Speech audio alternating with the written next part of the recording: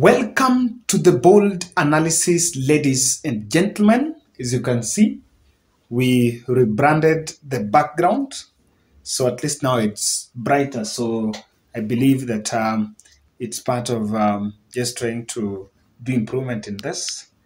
I was supposed today, and oh, I need to mention, uh, this was branded for me courtesy of Mary Wanjiru Mugure, all the way from United States of America. Asante sana. she just came and said, Kevin, I'm going to design it for you. And I want to say thank you for that support. Now, uh, today I was supposed to give an update on um, Sarah Tieno's fundraiser. And better part of afternoon, of the afternoon, I was in Kenyatta Hospital. So, uh, of course, because of time, I could not finish the process. So I'll go back tomorrow and finish everything, making that payment, so that by tomorrow I think I shall have uh, I shall receive all uh, the documentations that are needed, so that I can come here and present for you what exactly we have gathered and um, the situation, or rather, where the fundraiser has reached. I want to still say thank you guys, thank you guys for supporting. Thank you guys. Today was the last day. Actually, the, the videos that I'm going to do today, the last day is the 21 days challenge. So you can still forward um, and we really appreciate your support. Now, if you have been keen, you realize that the diplomats have been trooping in this country um, in their numbers to meet President Uhuru Kenyatta, the president-elect William Samoei Ruto, and Raila Odinga. And I think one that was captured was a delegation from US, senator, um, who came in the country. And yesterday there was also another delegation from Switzerland and Germany. And they came just after the Kenyan elections. Some have been delegations from the development partners, that is the, the UN, the AU, and all that. So if we had a free and fair election, as many people have been made to understand, or how the way other people tend to believe so, then why do you think what is triggering all these um, concentrated activities by the diplomats in the country? And this is not a welcome call for Deputy President William Samoei Ruto, or rather, let me say the president next, because what he would actually want is a situation where he's given the opportunity and the freedom, everything. He can organize his government and eat everything by himself. But when the international community tries to come in the country to just figure out what's happening and how they can also create a truce, it creates an, a working environment where the president elect have to work with other players in the field. And this is not something that really uh, deputy president wants. I am one person that believe, and you can challenge me on this, that the handshake between Raila Odinga and President Uhuru Kenyatta was just beyond taking the two leaders and locking them in a house and making them talk. Maybe they have made us to believe they talked for months, for almost a month, for them to reach an agreement. I can say my position is there were really high profile powers that brokered that deal.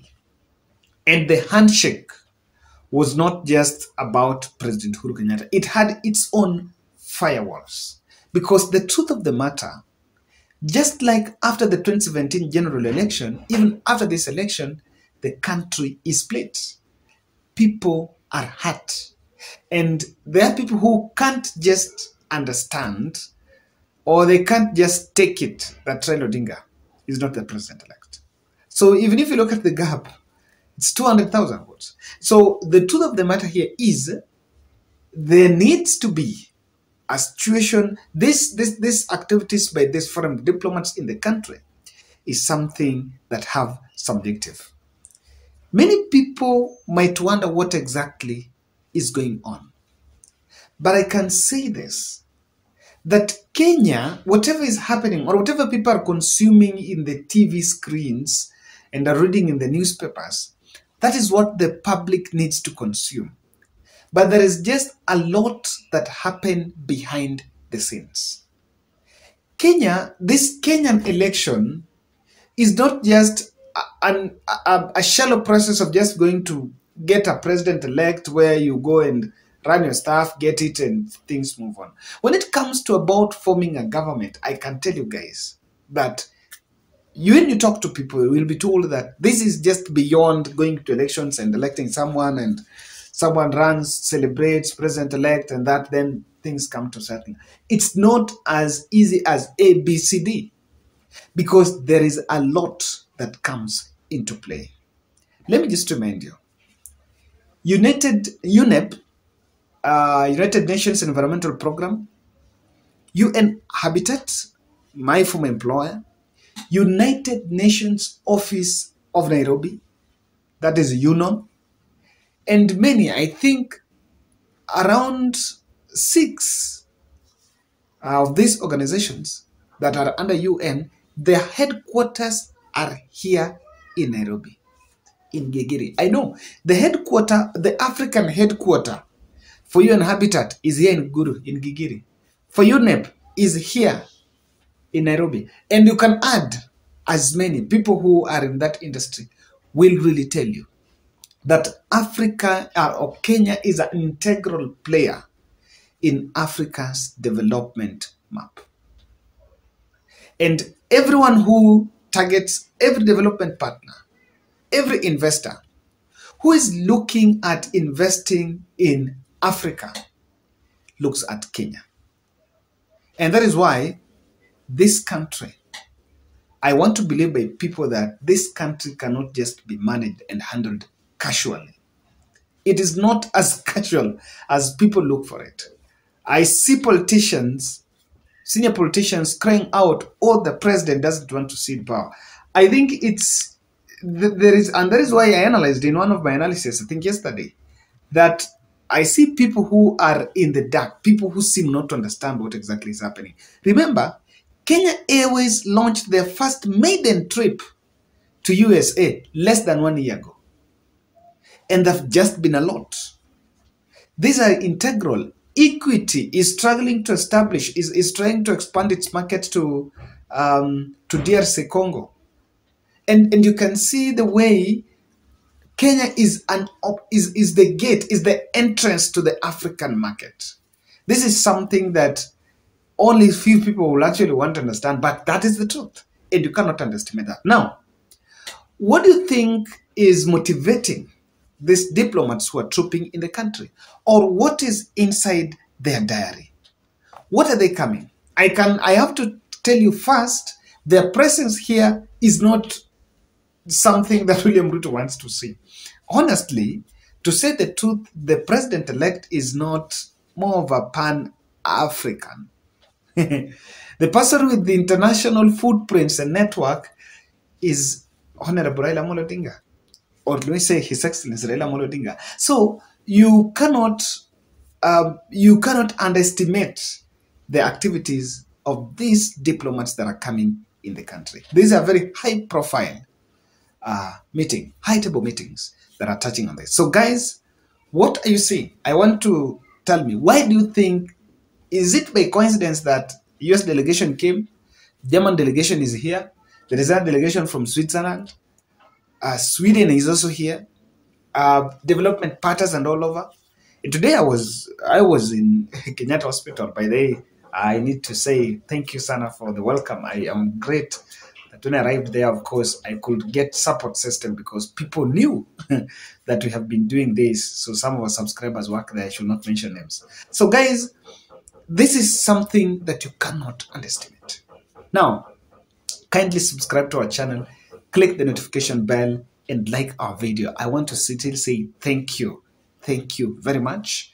Um, the two videos today are the ones that we are doing mentions for um, Sarah's medical challenge. Uh, fundraiser is still going on. Tomorrow I'm going to give a report. Yeah, but you can still contribute.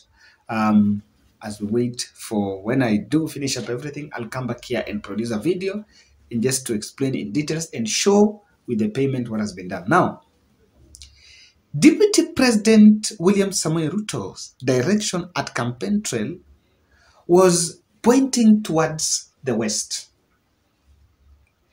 And this west, if you have been keen, someone can help me fact check. I think I saw a tweet that the Russian president congratulated congratulated uh, William Ruto for being announced as the president elect. Let me just take you some time back. Uh, during COVID, when there was the jab that was being introduced to the country, William Ruto was on the receiving end because he decided to take a jab from, I think, Russia. I, I can't remember which one was that. But do remember, everyone from government was taking one that I think was from UK or some country, I think India, but Ruto went west. And that seemed, he was actually bashed as person who was not in conformity with the government stand. Now, in the campaign trail, there have been uh, the disdain towards the president's direction because the president went east.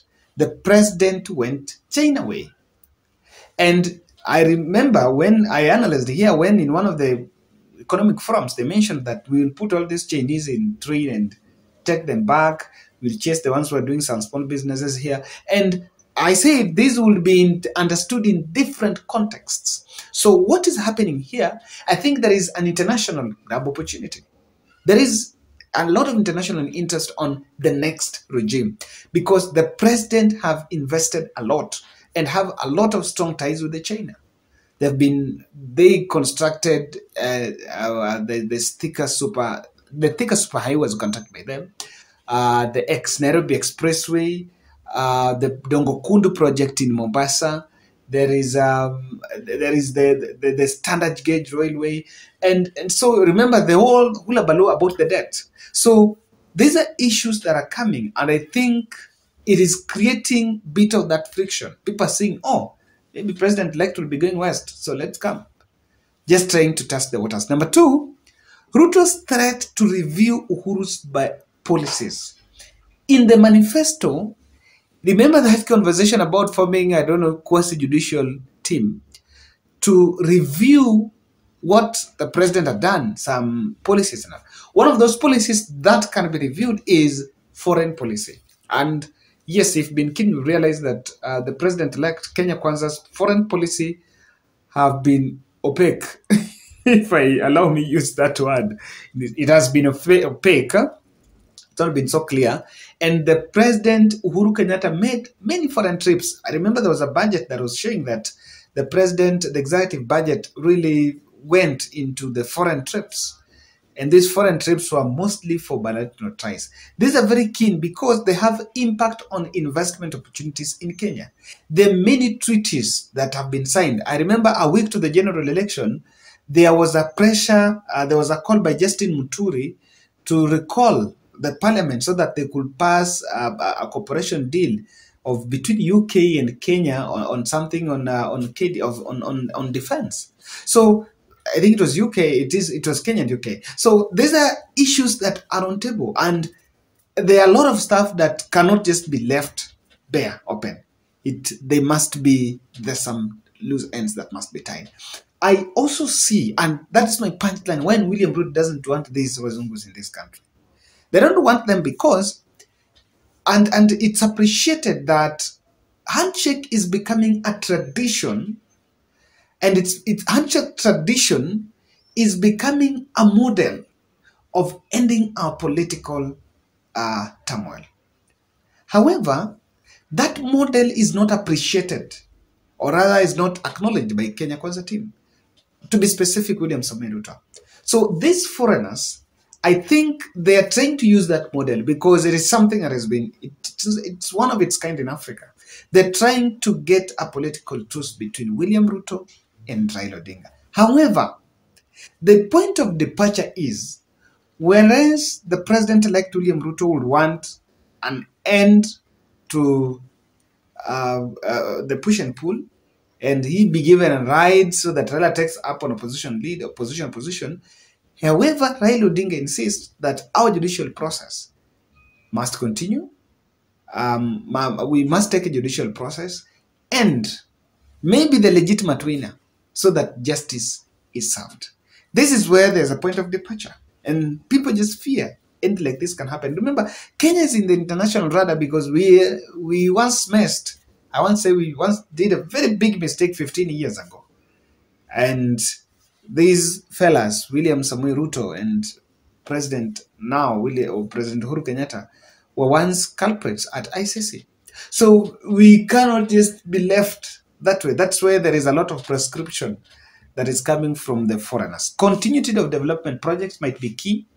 Uh, President Uhuru Kenyatta had some plans on malaria that are being implemented, and the government have offered very good opportunity for these development partners and projects to thrive in the country. They are also now assessing because at this moment there are a lot of fundraising. There is a lot of fundraising that is being done maybe to support these projects. No one is coming to establish and even put up a project here if there are few problems that are emerging. Remember the Kenyatta University land tussle, where WHO was supposed to build a hub in that land, but then the, the executive and the council of the school were in some sort of a war, even though the government were in a position to get the land and it, it was given for that. So I see also development partners looking at this critically. And the big question is, is William Ruto fit? What are his policies? Can he should we embrace Raila? And I can tell you that's why you see most of them are saying that let Raila go to court. They're not talking, no one has told Raila concede defeat and have a, no, no, no. It's about let the process go on, but then there is need for peace. Guys, that's my bold.